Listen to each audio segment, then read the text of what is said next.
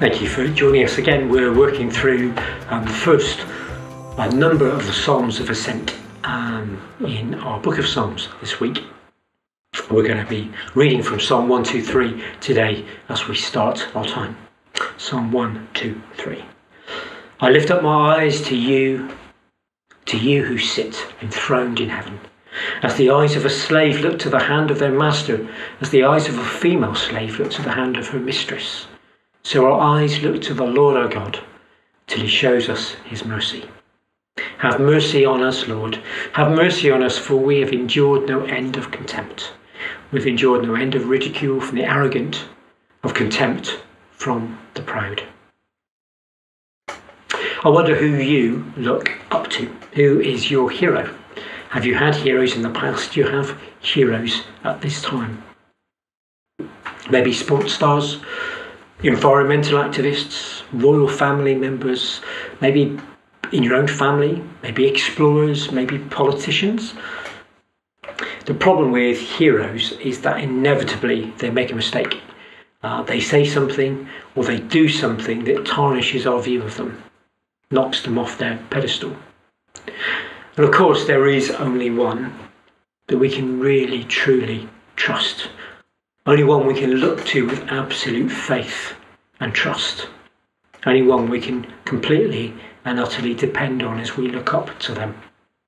That's the one who never changes, the one who never fails, the one who's faithful, the one who we've already heard never takes his eyes of love from us, the Lord God. Psalm 123 starts with that great reminder to lift our eyes up not to the mountains, as we reminded ourselves a few days ago, not to the gate of Jerusalem, we were looking at the gate of Jerusalem yesterday, not even to the amazing, astounding, beautiful temple, but to the Lord our God, enthroned in heaven. Our Lord's Prayer, that gift of Jesus, starts with the words, Our Father.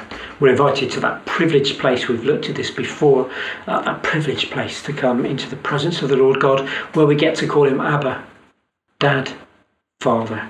It's a safe place, a place that helps us out of our struggles, helps us put our struggles into perspective too.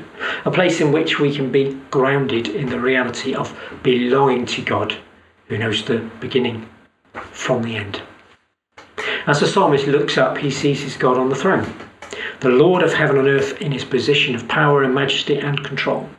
The psalmist cannot help but imagine themselves like a servant looking to God, their perfect master, trusting God for provision, instruction, and direction. And what a perfect master! A master to whom the servant can call out for mercy from the struggles of life and the world not once, but he calls out three times in this short, short psalm.